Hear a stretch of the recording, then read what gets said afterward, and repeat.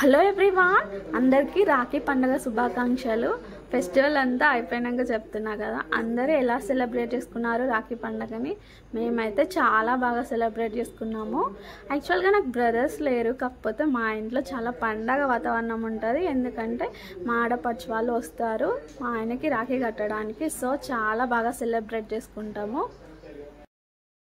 అన్ని పండుగల్లాగానే ఈ పండగ కూడా తిప్పలు తప్పలేదు అని చెప్పొచ్చు. ఎందుకంటే ప్రతి ఫెస్టివల్ ఇప్పుడు టూ డేస్ రావడం ముహూర్తాలని టైమింగ్స్ అని ఇట్లా చాలా కన్ఫ్యూజ్ చేస్తున్నాయి కదా జనాలని. అట్లనే రాఖీ ఫెస్టివల్ కూడా టైమింగ్స్ అని చాలా కన్ఫ్యూజ్ చేశారు. కొంతమంది వన్ థర్టీ లోపు కట్టుకోవాలని కొంతమంది వన్ థర్టీ తర్వాత కట్టుకోవాలని లోపు అస్సలు కట్టొద్దు. అది ఇదని చెప్పడము. కొంతమంది అసలు ఏం టైమింగ్స్ ఉన్నాయని చెప్పడం ఇట్లా చాలా కన్ఫ్యూజ్ చేసినారు జనాలని. మేము కూడా చాలా కన్ఫ్యూజ్ అయినాము.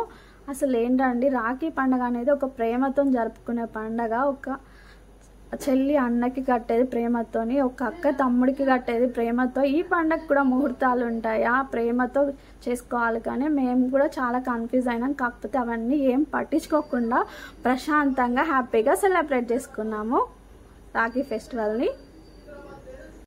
ఇంకా ఫస్ట్ మా వదిన ఇంకా మా మామయ్యకి ఉన్న మా ఆయనకి కడుతుంది రాఖీ.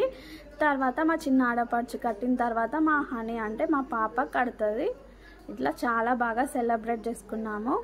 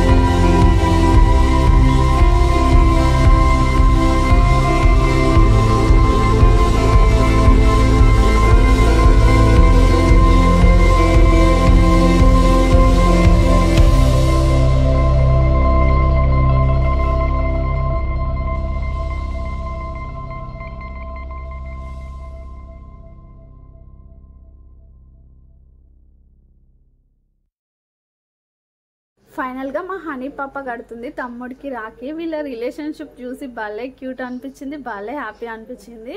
వాడు మేము డబ్బులు ఇస్తామంటే అస్సలు వద్దన్నాడు. వాడి దగ్గర ఉన్న వాడు జమ చేసుకున్న డబ్బులకి వెళ్ళి అక్కకి గిఫ్ట్ ఇస్తాడంట. దానికోసం నిన్న మొత్తం షాపింగ్ చేసి చాక్లెట్స్ తీసుకొచ్చిండు. ఎందుకంటే హనీకి చాక్లెట్స్ అంటే టూ మచ్ ఇష్టము. సో అవన్నీ తీసుకొచ్చి ప్యాకింగ్ చేసిండు. కాకపోతే ఈరోజు వరకు ఆగలేదు. గిఫ్ట్ ప్యాకింగ్ అనేది తీసేసి చూపించిండు.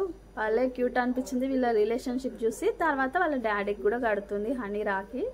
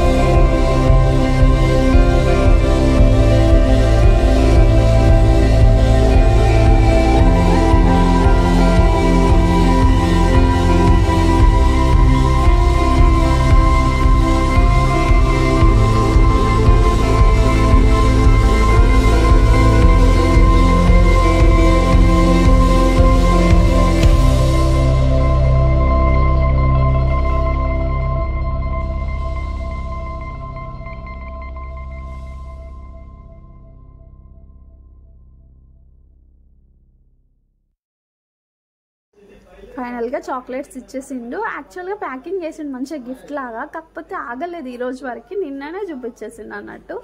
ఇంకా మా హనీ ఫేస్లో హ్యాపీనెస్ చూడండి. చాక్లెట్స్ అంటే చాలా ఇష్టము. సో చాలా హ్యాపీగా ఉంది. ఇంకా అవి వన్ అవర్ కూడా ఉండలేదండి. మొత్తం తినేసినారు. ఫైనల్గా అందరం కలిసి లంచ్ చేసినాము. రాఖీ పండుగ అనేది మండే రోజు వచ్చింది కదా అందుకోసం నాన్ వెజ్ ఇట్లా ఏం తెచ్చుకోలేదు. అందరికీ ఫాస్టింగ్స్ ఉన్నాయి మండే. సో వెజ్తోనే అందరం కలిసి లంచ్ చేసినాము. ఇంకా వాళ్ళు వెళ్ళిపోయినారు ఆడపడిచి వాళ్ళు. పిల్లలు ఎవ్వరు రాలేదు. ఇంకా చాలా సందడిగా ఉండేది పిల్లలు వచ్చేది ఉంటే వాళ్ళకి నెక్స్ట్ డే ఎగ్జామ్ ఉన్నాయి అందుకే ఇంకెవ్వరు రాలేదు ఇంకా వీళ్ళు వెళ్ళిపోయినారు. ఇంతే అండి ఈ చిన్ని బ్లాగ్ మీకు నచ్చినట్లయితే లైక్ చేయండి మీ ఫ్రెండ్స్కి షేర్ చేయండి అండ్ సబ్స్క్రైబ్ చేసుకోవడం మాత్రం మర్చిపోవద్దు. మరొక వీడియోతో మేము ముందుకు వస్తాను అంతవరకు బాయ్